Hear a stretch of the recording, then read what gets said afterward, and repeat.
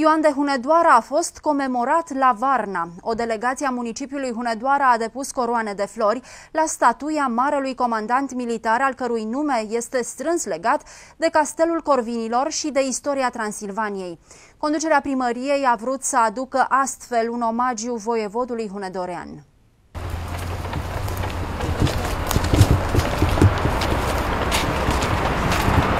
Să o pune o prima dată.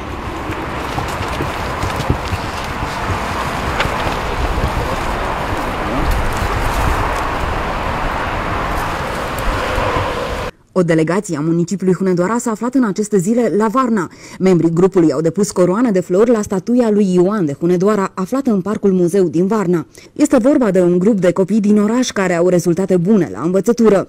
Liceenii hunedoreni au vizitat Muzeul de Arheologie, termele romane din orașul bulgar și Parcul Muzeu din localitate.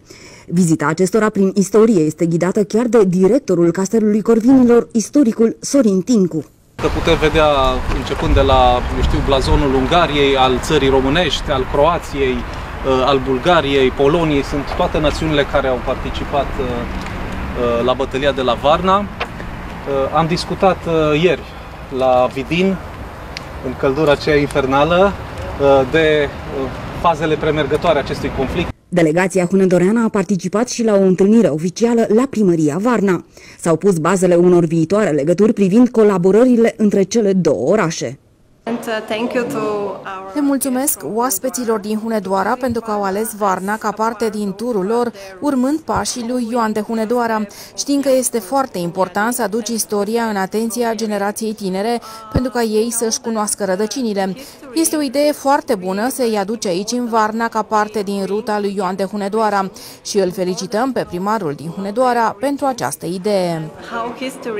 Acest proiect pe urmele lui Iacu de Hunedoara ajunge în acest an uh, la Varna, locul unei bătălii foarte importante, o bătălie a națiunilor, în uh, noiembrie 1444, uh, când Iancu, alături de regele Vladislav, au luptat împotriva otomanilor aici, în această zonă, alături de românii transilvaneni, de maghiari, de polonezi, de albanezi, de sârbi și de bulgari, Mulțumesc oficialităților din uh, Varna care ne-au primit uh, astăzi uh, la primăria din Varna și împreună sperăm că acea idee mai veche a noastră de a inscripționa statuile lui Iancu de Hunedoara găsite în Balcani și cu denumirea în limba română a Marelui Voievod vor prinde contur într-un viitor foarte apropiat. După vizita de anul trecut la Belgrad, conducerea primăriei s-a decis ca luna august să fie dedicată cinstirii personalității voievodului Ioan de Hunedoara.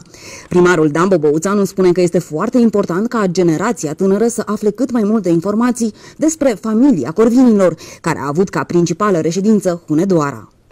Proiectul acesta, până la urmă, este nu doar un proiect istoric, ci este și un proiect uh, didactic prin uh, astfel de manifestări încercăm să întărim în metalul colectiv memoria lui Iancu de Hunedoara. Sunt proiecte noi pentru municipiul nostru. Uh, din păcate, ani de zile, personalitatea Marului Voievod nu a fost subliniată suficient de către administrația locală. Iată că de câțiva ani de zile, luna august, desfășurăm astfel de evenimente. Localitatea din Bulgaria a fost la mijlocul secolului al XV-lea locul unde s-a desfășurat una dintre cele mai crunte bătălii împotriva otomanilor. Turcii s-au declarat învingători, dar înfruntarea a făcut să-și amâne planurile de expansiune spre Europa Centrală și de Est. Ei au fost opriți 12 ani mai târziu la Belgrad de armata lui Ioan de Hunedoara.